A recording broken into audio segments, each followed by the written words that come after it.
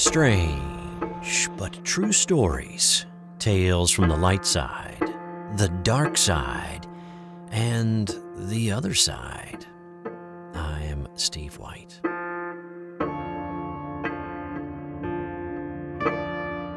Like a lot of people, I'm a Stephen King fan. His latest book, published by Hard Case Crime, is titled Later. The main character is a little boy who can see dead people and talk to them for a short period of time after they have died. No spoilers here, as I'm recording this, I'm only about 40 pages in, but it's a good read, and it's received some really good reviews. Anyway, today's SBT is sort of along those lines. There are two stories here from subscribers of SBT, just like you, that sent along their stories of growing up with entities in their house. There was a communication between them and the world beyond. The first story was sent to us by a young woman who had some very interesting experiences with her ghostly friend. I grew up on a farm in southwest Missouri. The nearest town only had about a thousand people or so. My mom always told me that I was a lively baby and a child with an active or overactive imagination.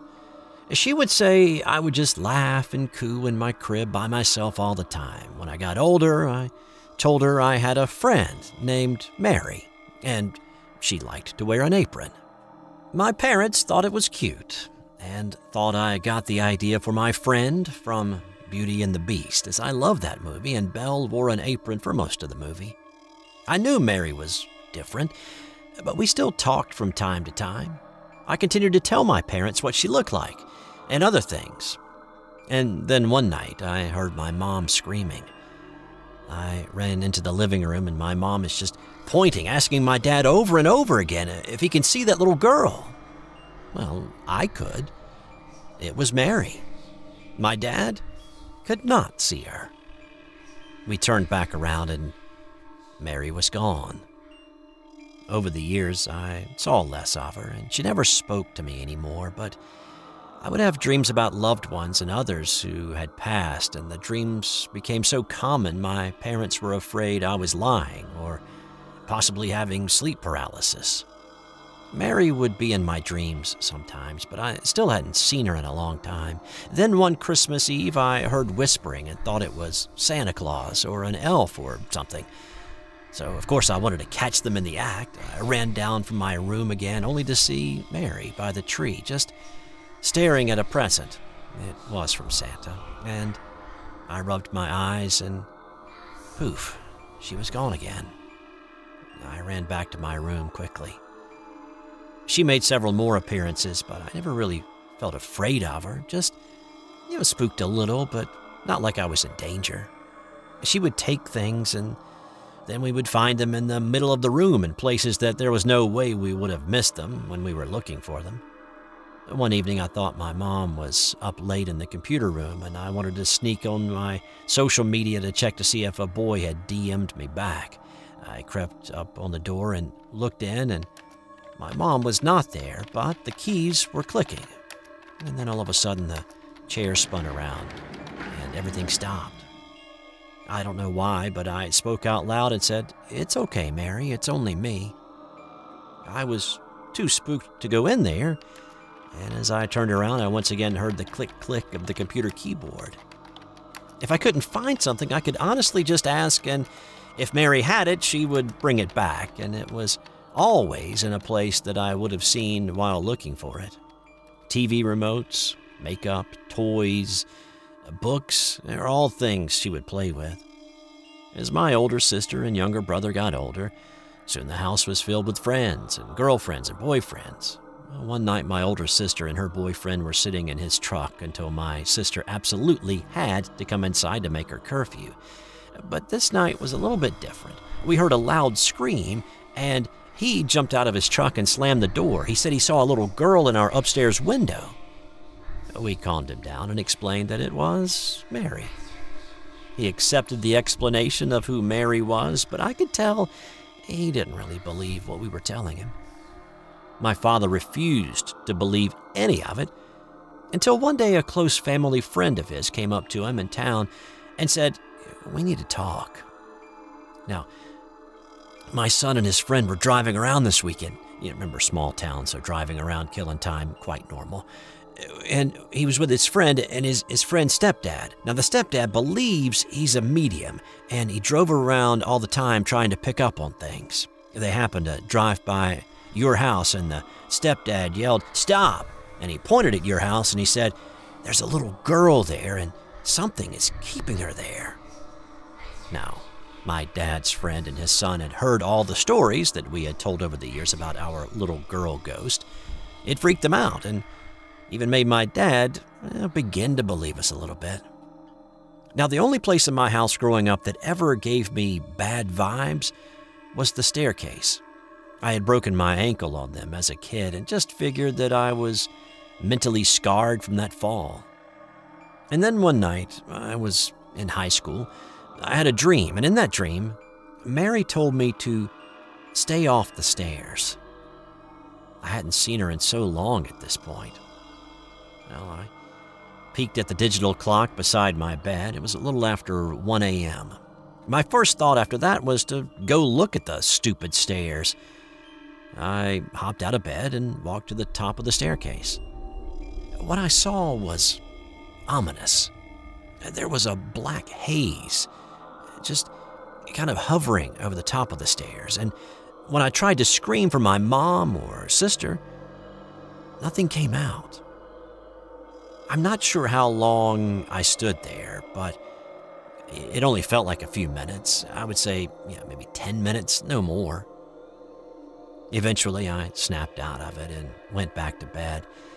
I looked at the clock to see how much time I had until I needed to get up for school.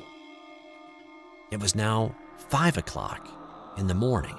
Four hours had gone by, and I only had two hours left to sleep before I needed to get ready for school. That couldn't be. I told myself that I read the alarm clock wrong or something, or maybe I hit the button by accident, moving the time forward, even though I didn't remember even reaching for it. I put my head on my pillow and went back to sleep. But sure enough, two hours later, my alarm is wailing, and I can tell others were getting ready for school and work. There had been nothing wrong with the clock at all. I never spent too much time on the steps after that night. I felt like I needed to run up and down them to get off them as fast as I could. My little brother told me one day that he doesn't like to come to our room, and when I asked why, he said that he felt like he needed to run away from the steps. But here's the thing about that I had never told anyone the story of my dream, the warning from Mary, or what I saw when I got up to inspect the stairs that night, or the fact that I had lost four hours of time I couldn't account for. I didn't want people to think I was delusional or scare anybody. We were comfortable with Mary, but I figured we wouldn't be comfortable with the black, ominous haze that I had seen hovering above the steps. A few more years went by, and I went off to college. I was excited to get away from the unrestfulness of my house. I joined a sorority and lived in the sorority house. And of course, everybody who lives in a sorority house believes they're haunted, right? I kept my mouth shut during all the scary stories, and I just thought they were stupid because I knew what it felt like, and this stuff that they were talking about it was not it. then the night terror started. I would wake up screaming for no reason at all. I was having more and more dreams about people who were no longer here with us. And then one night, a man who was close to my family when I was little told me in my dream that I needed to go home and pray. It sounded crazy, I know, but I did go home that weekend. That was the weekend my grandfather got into a horrible accident. He was okay, but still, I knew that was the reason that I had that foreboding feeling and that I had been visited by our family friend in my dream. Things went back to normal, other than the fact that, you know, I sometimes would get these feelings. I can only call them feelings, but it's like an, an anxiety feeling. But not my anxiety like someone was with me and I could feel their worry. Now, this last bit is a little bit different, but I think it is related somewhat to my connection to Mary. Heck, maybe it was Mary, still connected to me, that decided to play a weird joke. Anyway, when I got my first job out of college, it was in a huge city in a new state, and when I moved, I was a little scared. That first weekend, my wallet was stolen from me at a Walmart. I freaked out. I was thousands of miles from anyone I knew. I had no ID, no credit or debit cards. Now, the credit and debit cards thing was an easy fix, but getting a new ID, it's a little bit different. I was living in a border state now, and they had very strict rules for how long you had to live there before you got an ID. I called my state, and they couldn't issue an ID without me being there. I couldn't fly home because no ID, so I had to drive, and it was a 17 hour drive that I had to look forward to. And I had to do this before the local DMV was closed. So I hopped in my car and started the drive. The last leg of my trip, I stopped for gas and I got this really weird feeling. And then it happened. My replacement debit card wouldn't work to get gas. I almost cried. I was a, an hour away from home, and I had to make it before the DMV closed, or the whole trip was worthless. I called my mom, and she called the DMV to make sure that they would wait. That was great. While we focused on, you know, getting the problem with the card fixed. Was I using the right pen? Yeah, I was. Was it cracked or damaged? Or had it been by a cell phone or magnetic uh, device or something like that? No. I went in to ask if they'd take a payment over the phone, and when I got back to my car to fill up, I saw that my debit card was in my seat. I swore that I put in my wallet. So I looked in, and there was the replacement card in there too. And then I noticed that the numbers were not the same. The number of the card that was on my seat was different. That had been the one that had been in my wallet that was stolen from me earlier that week. I almost fainted. I told the clerk I no longer needed to pay over the phone. I used my old card, which again was weird because I had changed out everything and it was supposed to be deactivated. But it worked. Had Mary decided to return them? And had fixed the problem? I don't know. I'm now married and still have feelings and dreams still, and only occasionally see Mary. The stairs in the home that I grew up in are still heavy, and I hate using them. I have no idea if Mary is a spirit, or an angel, or what. I'm still not sure if she's even connected to the feeling or to the other things that happened to me outside of my parents' house. More importantly, I still don't know if she is why I get strange feelings and I get these dreams that I have. It's all pretty unbelievable, I know but it's all completely true. I grew up in an oldish house. It was built in the 1950s. Growing up, I always thought the house was a bit creepy, but I chalked it up to an overactive imagination. However, as the years passed, my family and I have continued to experience unexplainable things, and I've begun to wonder whether there isn't really something paranormal going on. Mostly we just notice things like lights turned on seemingly by themselves or doors opening and closing on their own. You know, things that could be explained by faulty wiring, drafts. But there have been some other occurrences that have been less easy to explain. The first one happened when I was about 14 years old. It was only around, you know, 6 or 7 at night, but it was the middle of the winter, so it was already pitch black. My dad wasn't home from work yet, and my mom had gone to pick my older sister up from a friend's house, so I was left to watch my little sister and her friend uh, who lived down the street. I'll take this as a chance to explain a few things. First, my neighborhood was a little off the beaten trail. We weren't completely isolated, but we were a good 15 minute drive from the town where we went to school and did our shopping. Besides our line of about you know, 10 houses, there's nothing around for another five miles but farms. At the time this happened, there were only two families in our neighborhood with school age children my family and the family of my sister's friend. Secondly, I'll quickly explain the way my living room is set up. Our TV is up against the wall opposite the sofa. To the left of the TV, there's a window that looks out onto what we call the porch, which is a screen porch that we glassed in to make a sunroom. And to the right of the TV, there's a glass door that leads out to the porch. And behind the TV, there's a light switch that turns the porch lights on. The porch also has a glass door that leads out to the backyard. Now that we've made it through that boring setup, uh, here's the rest of the story. Again, six or seven at night, pitch black. I'm alone uh, with my sister and her friend. All right, so the three of us were sitting there in the living room watching TV when my sister's friend suddenly sits up, looking out the window onto the porch, and said, Is that Tom? Now, Tom was her older brother, who would have been about 11 back then and also living right down the street. My sister followed her gaze. Oh, yeah, Tom's here, she said. Well, I thought that was a bit odd. Normally, uh, Tom would have come to the front door, which was on the other side of the house. We almost always left the front door open, and our families were close friends, so Tom wouldn't have hesitated to just let himself in if we hadn't heard him knocking. There really wasn't any reason for him to use the porch door. I got up and looked out the glass door, thinking maybe they were just seeing things. Well, sure enough, I could see a boy, probably about 11 years old, standing on the porch.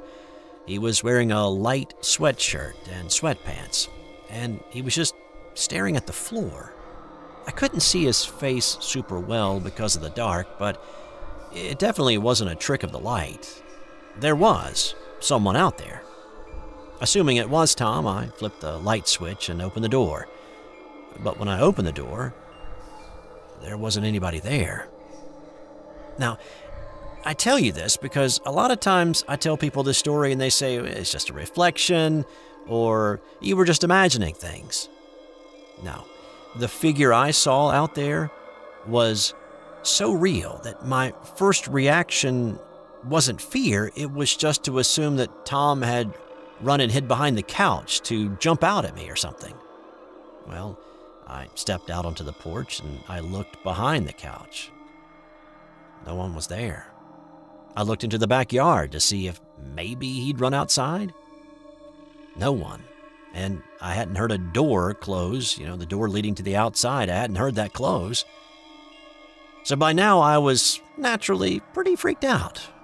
But seeing as I was the oldest one and I was the one in charge. I had to try and keep my cool. My sister and her friend, who also both swore that they'd seen a boy standing on the porch, were getting pretty nervous, and I knew if they saw that I was scared, they'd completely lose it. So I told them it was, it was just a reflection. I turned a few more lights on, turned the TV up really loud, and we sat quietly until my mom came home a little later. The next day, I found out Tom wasn't even in the neighborhood that evening. He had left that afternoon to go on a camping trip with his Boy Scout troop. And like I said, there were no other kids in that neighborhood. Megan had just the one brother, so who or what was on our porch that night? Since then, other weird stuff has happened as well. One weekend, when we were away visiting relatives, a friend of my older sister was supposed to be staying in our place watching our pets. Uh, his first night there, he sent my sister a series of frantic late night texts saying he kept seeing and hearing things, and he had gotten so frightened that he just left. Now, this was a 21 year old adult man, not some anxious teenager. He came back early the next morning, and the next two nights made his friend stay with him because he refused to be there alone at night. When asked about it, he was pretty vague. He just said he got really bad vibes from the place and kept seeing things. My older sister's boyfriend has also reported that on more than one occasion he's been dropping my sister off late at night and seen a, a, small figure standing in a dark window on the second floor. That window belonged to my little sister, and it was unlikely he was seeing her. You know, a lot of times, you know, they would get back at 1 or 2 in the morning, and long after Annie would have gone to sleep, and she had never been one who would just get up in the middle of the night or ever been a sleepwalker or anything like that. And if that hasn't convinced you that there was something spooky going on at my house, I'll tell you one final story. When My little sister first moved into that room a few years back after my other older sister had moved out. She spent the first several months refusing to sleep in there. She'd always end up in my parents' room before the night was out, and after a while, they just gave up and let her sleep with them. I didn't think much of it. She was young and had never had a room to herself before, so I figured she just didn't like being alone. Well, I later learned the reason she was so afraid to sleep in there.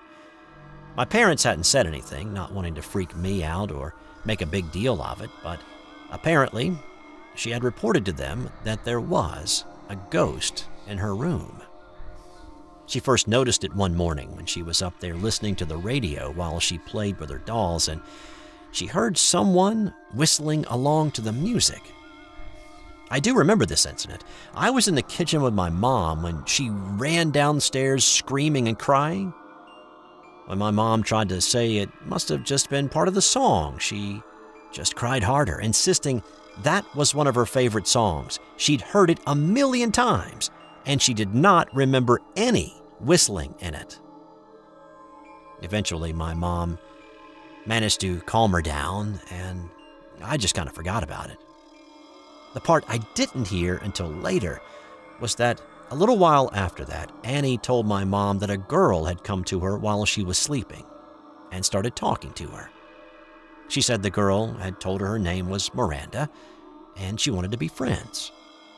She didn't say much else, just that this had freaked her out and my parents didn't press for details. This was apparently the reason she refused to sleep in there for a good six months. I don't know what convinced her to go back to sleeping in her room, but she's since gotten over it and she started sleeping in there. I guess Miranda's gone, or at least got the drift that Annie didn't want to be her friend. Anyway, that's the story of my creepy house. I'm in college now and live away from home, but I still go back over holidays and for part of the summer. I'll give you an update if any other paranormal goings on happen.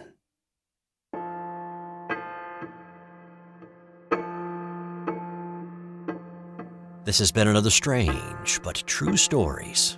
Time to tell us what you think. Both of our stories today were sent to us by viewers and subscribers of SBT, just like you. Let us know what you thought of these in the comments below. And if you have a strange story or an occurrence in your life that you just can't put your finger on logically, well, we'd love to hear about it. Send it to us in an email with as much detail that you can remember to strange but true stories 2 at gmail.com.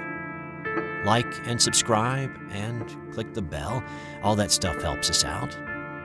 Thanks for all the support from all of you, and thanks for watching this video. I'm Steve White.